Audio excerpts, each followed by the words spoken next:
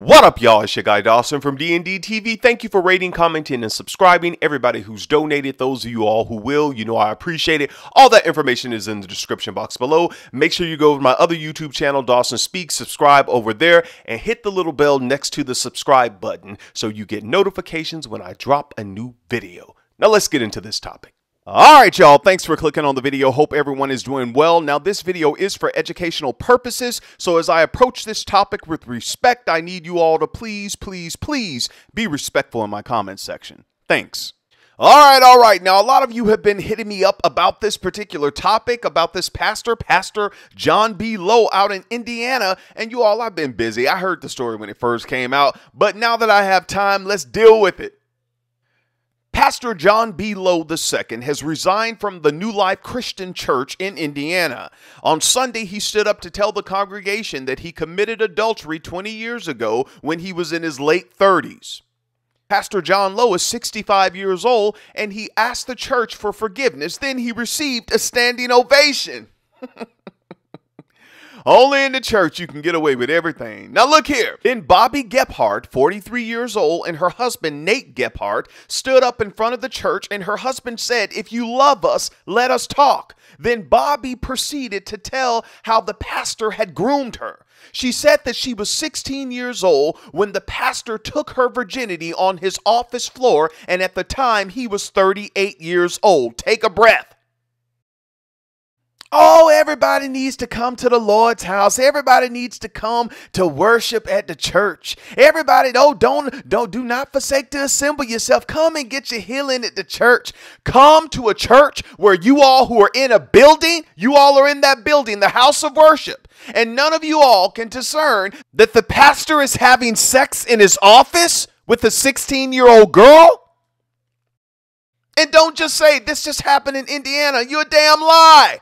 It happened in Alabama. Remember the story I did of the pastor who was inside the sanctuary and his office? And when he ran out of lube, he used holy oil, the blessing oil, the olive oil as lube. Remember the pastors up in Toledo, Ohio? Y'all don't want to remember that, but I do.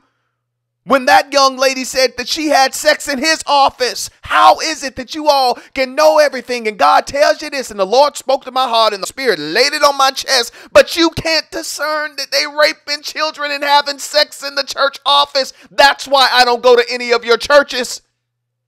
That's one of the main reasons people don't go to church now. Oh, y'all church hurt. No, they're hurting the children in the church. They're raping and molesting the children and you're not getting it. You don't want to get it. And some of you will probably say, like some people have come on my show and said, and they got blocked. Oh, well, maybe, you know, maybe she wore a revealing shirt. Maybe she had on Daisy Dukes or her pants was too tight. Oh, maybe the boy, you know, he probably wanted, he probably looked older than what he was. Or maybe, you know, the girl was too fast. Or maybe the boy had a little sugar in his tank. You all are disgusting for thinking like that. Children are off limits. I don't I don't get I, don't get it.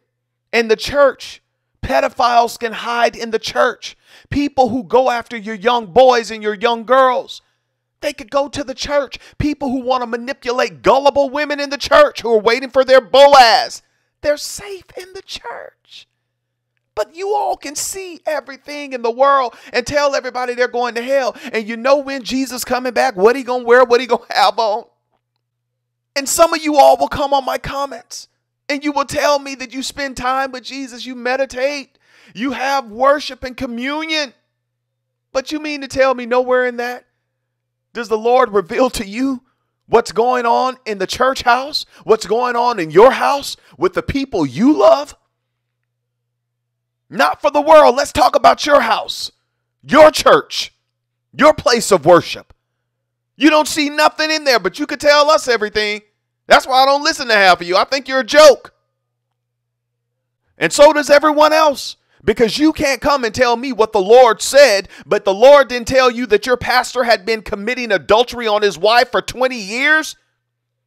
That he was sleeping with a 16 year old, took her virginity on the office floor in the church? Now let me end this story. Let me get back to my reporter voice. You know, when you talk about the children, I get all, you know, I, I just lose it because I don't see. I know adult. What you want with it? Come on, bruh. Really? Bobi Gephart, 43 years old, told the church that she had been living in shame for years to protect Pastor John Lowe II. After she left the stage with her husband Nate, Pastor John Lowe II then confessed that what she was saying was true. Now, I did read a news report and they said that they are investigating this situation, even though it happened years ago. But I want to say to Bobi and her husband, Nate Gephart, you all, thank you for your boldness. Thank you for speaking out because your video has gone viral. Everyone is talking about it. And I hope what this story has done, this video that Bobi did with her husband that had it's everywhere. I hope what this has done has forced people, no matter where you are, especially in these religious institutions, who've been abused mentally, physically, and sexually, stand up. Say what happened to you. A lot of you all hit me up and you want me to tell your story. That's not my job. It happened to you. You do it. You got access to social media. You got YouTube. You got to tell your own story. All right? Until next time, it's your guy Dawson. Take care of yourself and each other. Go off in the comments. Let me know how you feel about this story. Peace.